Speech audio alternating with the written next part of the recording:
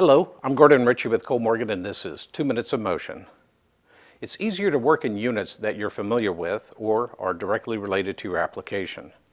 The Workbench software allows you to set up your position, velocity, and acceleration in those units that make sense for your application. Workbench allows the operator to choose the units based on the application type. Motor only is just that, units based on the motor's point of view. Position can be 32-bit count, degrees, radians, or custom units, or 16-bit count. Velocity can be in RPM, RPS, degrees per second, and custom units per second, as well as radians per second.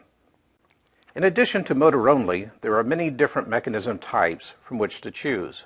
Among these are linear devices such as lead screw, conveyor, gear belt, nip roller, and rack and pinion. The rotary mechanisms are belt, gear belt, direct drive rotary, and disc. It's easy to see that there are many mechanisms that can be set up in Workbench. In fact, too many for a two-minute segment. So we will address each mechanism separately in future segments. Thank you for joining me, and check out other 2-Minute of Motion segments or sign up for one of our classes. I'm Gordon Ritchie for 2 Minutes of Motion. I'll see you next time.